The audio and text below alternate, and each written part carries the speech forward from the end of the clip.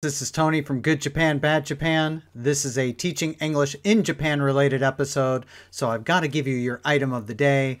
That item of the day is this contact solution called Soft One Moist.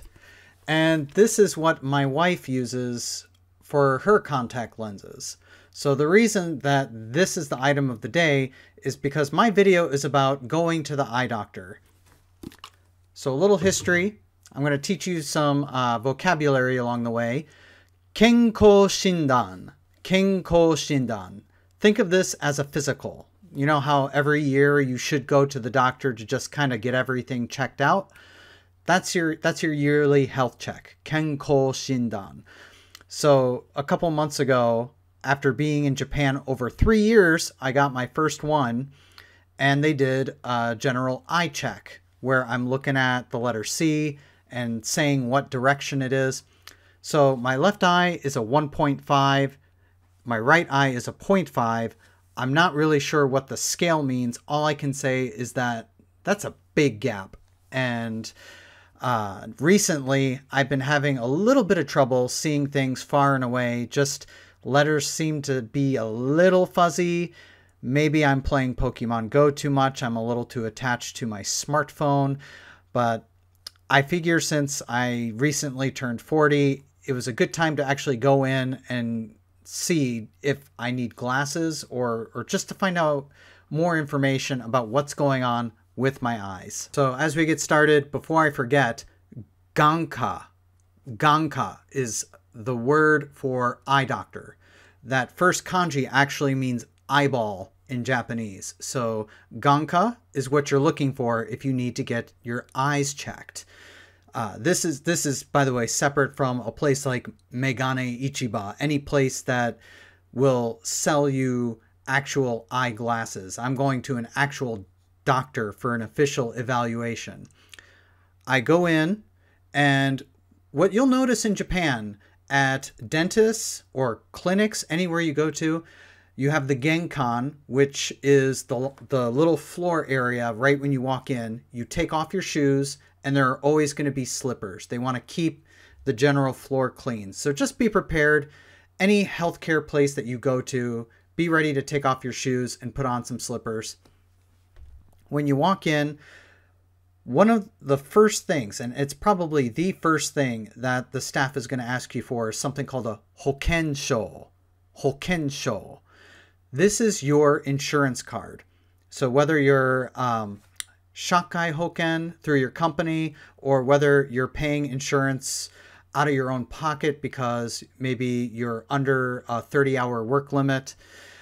Re- regardless of your situation, you will have an insurance card and they will ask for that. And this actually might be a little bit of a culture shock, so be prepared for it. They will not ask for any further identification. Your insurance card does not have your picture on it. They just say, you know, I can I have your insurance card? Can I have your hokensho? Okay, here you go. They they don't they don't hold that up next to a, a driver's license or your residence card and go, "Oh, these names match. This is this is Tony." So this is just how open and honest a country that Japan is that you can just give your insurance card and no one really questions your identity.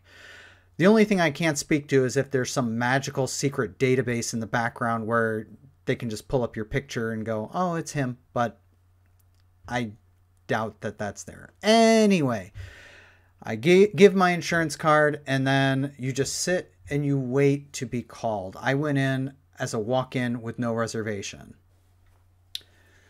Okay, so while I'm waiting, I should have mentioned this. When I gave my insurance card to the staff, they gave me a questionnaire. And this is actually pretty common no matter what healthcare place you go to. And at the top, it's going to have the basics. You know, what's your name? Where do you live? What's your phone number? What's your birthday? And so be prepared for that. Uh, hopefully, you've gotten in some practice time and you can write your name in katakana uh, at the very least, you know your phone number and your birthday, and maybe you figured out basic kanji characters so you know where to write that. At the very least, with a form of identification, the staff should be able to fill that in for you should you have absolutely no Japanese skill whatsoever. I do though highly recommend that if you have no Japanese skill that you leverage the company you work for to to see if they're willing to call on your behalf and help with any potential translation problems. The bottom half of that questionnaire is all about your health and why you're there. And so I saw two big characters for left and right, which I assume, you know, which I assumed meant for my left eyeball and my right eyeball. You know, which eye is giving you trouble? Is your eye itchy? Are you having trouble seeing? Does it look cloudy? Are you here for just a checkup? So there's any number of reasons that you might go to the eye doctor and you're supposed to circle that. Now, I tried doing everything by myself, but I guess I was too slow and the staff called me over and then they just read the questions to me and put it in more simple Japanese. They're just like, hey, you have any other uh, health problems, any underlying conditions? No. Are you taking any medicine? No. Okay, thank you. So, pretty typical questions you'd get at most healthcare places. So then, after handing in that questionnaire, I'm getting called into a special room where I'm putting my chin on a platform and putting my head up against something and they just they just say in Japanese and everything's in Japanese but they just say look into this I'm like okay and so they they have this thing come by and it's lined up with my right eye. And then all of a sudden there's a big puff of air. And it totally caught me off guard. I had no idea that was coming. They did the same thing with my left eye. I guess this just kind of warming my eye up for the next part. Next part is what I expected. I told them, I said, I have no idea if I need glasses, and that's my biggest concern. And so I'm here for an eyesight test.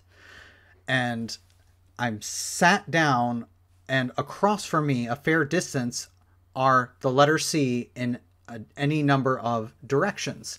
And they light up the board. And, and first, what they do is they will they will give you these glasses that cover one of your eyes. And then they start lighting up the board, and you have to call it out up, down, left, right. And it gets significantly harder the further down you go.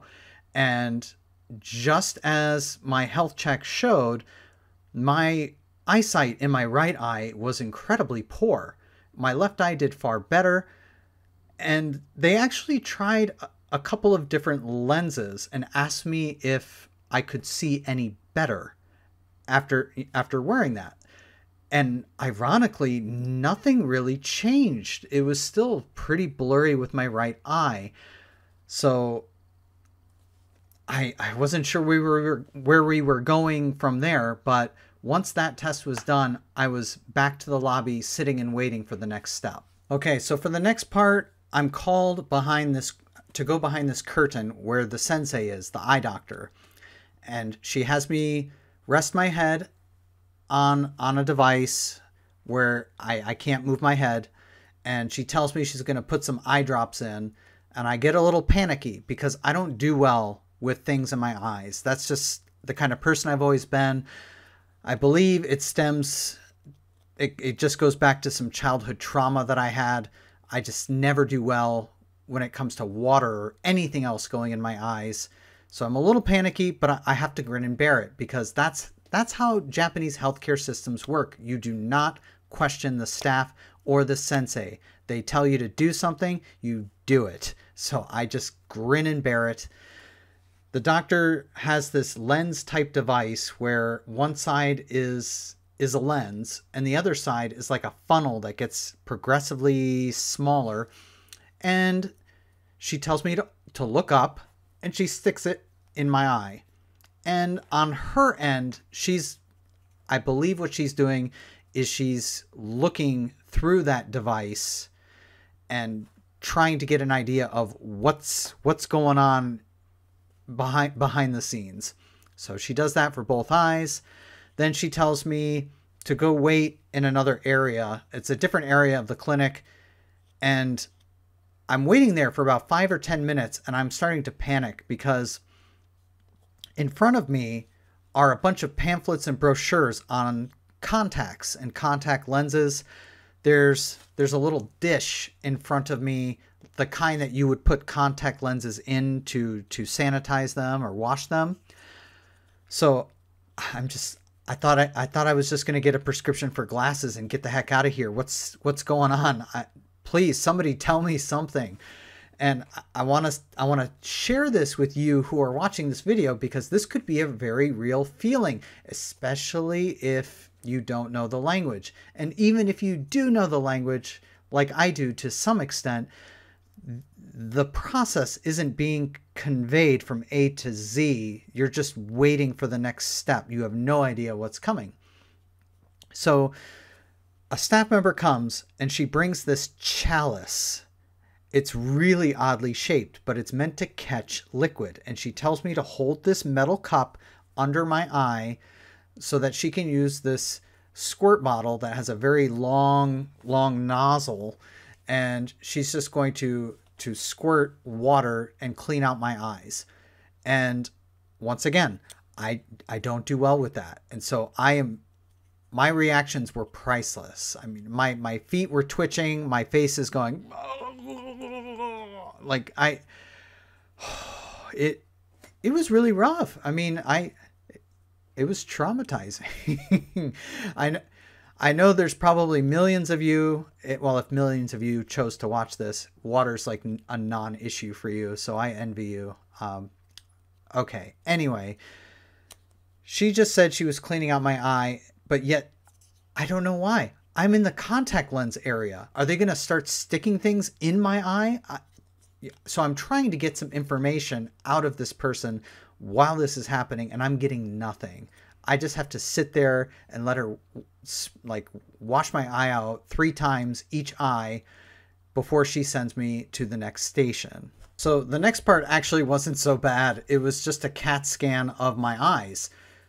That's why they really wanted to wash the heck out of them beforehand to really make sure they were getting the, the, the cleanest pictures that they could. I put my head on another chin rest. They told me to focus on this red cross that was inside the machine. So that's all I could really see. I could see like some red, other background red light moving back and forth. So I can tell that there's some scanning taking place. But they did that with both eyes is just, um, just a very quick CAT scan. And then the final part is, and this usually is what happens when you go to a clinic to get something checked out. You meet with the sensei again, and the sensei gives you the the verdict, the final result. What what what does she think is wrong with my eyes? And so she was really sympathetic and really said like she that she hoped I could understand everything that she was saying. She was just really kind about the whole thing. And she had a textbook open because it was all Japanese, but the problem in question actually had the English words in parentheses. And so I'm going to find that here. It says um, Central Serous chorioretinopathy. So I, I think if you just Google CSC eye problem, then you'll know what I have. So I, I don't mind sharing. To me, this is not a serious health issue that I think is private, and I, you know I don't care if you know. Anyway, CSC. I saw the CAT scan printed out, and it has to do with water buildup and so I'm trying to understand the sensei's explanation.